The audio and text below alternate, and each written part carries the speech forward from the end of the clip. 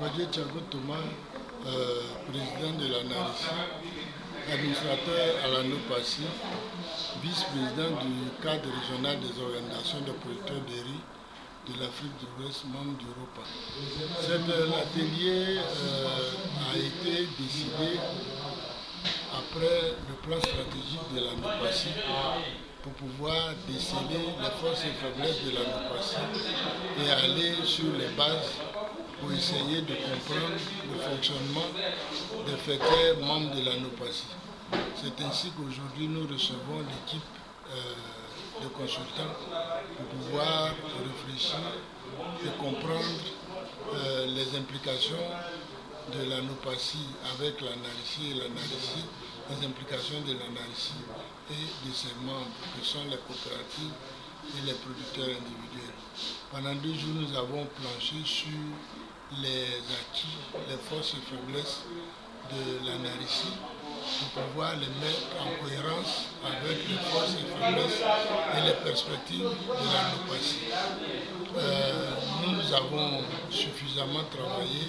C'est un tour que les consultants font aux frontières et les présidents des coopératives qui sont arrivés au nombre de 15 ont suffisamment compris et participer à l'identification des axes d'intervention, d'amélioration du fonctionnement de la de la NARICI et des coopératives qu'il dirige. La responsabilisation des producteurs, l'entente, la communication, la concertation a été un des points importants sur lesquels nous avons débattu pour dire que rien ne peut se faire sans concertation. Il faut que les organisations entre elles se concertent, il faut que les producteurs se concertent, que les décisions communes soient prises pour le bien de la production agricole en Côte d'Ivoire.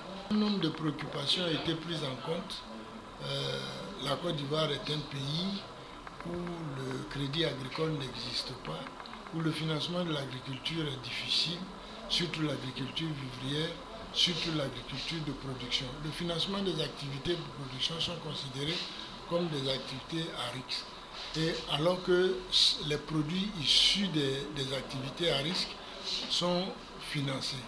Nous nous sommes dit qu'il faut que nous nous organisons pour que nos produits nous appartiennent et qu'à partir du produit euh, à partir du produit dont certaines structures s'intéressent, nous puissions mieux valoriser l'activité que nous faisons.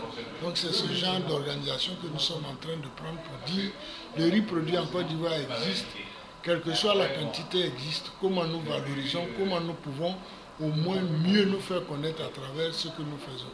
Nous avons pris des résolutions et je pense qu'avec la concertation, avec les discussions, nous arriverons à trouver un terrain d'entente.